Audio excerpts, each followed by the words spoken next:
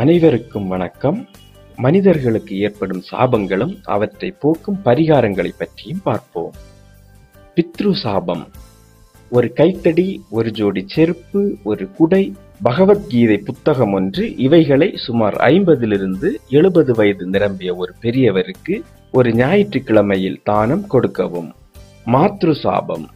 ஒரு நாளைக்கு இருபத்தி ஐந்து சுற்றுகள் வீதம் நாற்பது நாட்கள் தொடர்ந்து உங்கள் ஊருக்கு அருகில் உள்ள பெருமாள் கோவிலை சுற்றவும். கோவிலை சுற்றும் போது ஓம் நமோ நாராயணா என்ற மந்திரத்தை மனதுக்குள் உச்சரிக்கவும். இதை ஜென்ம நட்சத்திரத்தன்று அல்லது ஒரு திங்கள் கிழமையில் தொடங்க வேண்டும்.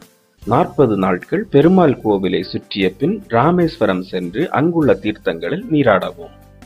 பிரத்துரு சாபம் துளசி வில்வம் போன்ற தாவரங்களுக்கு நீர் ஊற்றி வாருங்கள். புண்ணிய நதிகளில் செவ்வாய்க்கிழமைகளில் நீராடினால் பிரத்துரு சாபம் நீங்கும். மாதுள சாபம். புதன்கிழமைகளில் குழந்தைகளுக்கு நோட்டு புத்தகங்களை தானமாக கொடுக்க மாதுள சாபம் விலகும். பிராமண சாபம்.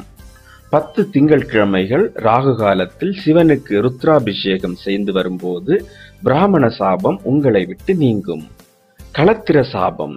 ஒரு வெள்ளிக்கிழமையில் பெருமாள் கோவிலில் உள்ள தாயாருக்கு திருமாங்கல்யம் சாற்றி வழிபட்டு வரும்போது கலக்கிற சாபம் நீங்கும். பிரேத சாபம். சனிக்கிழமை ராகு காலத்தில் ருத்ரம் படியுங்கள் அல்லது வீட்டில் மிருத்துஞ்சய ஹோமம் செய்யுங்கள். சர்ப்ப சாபம்.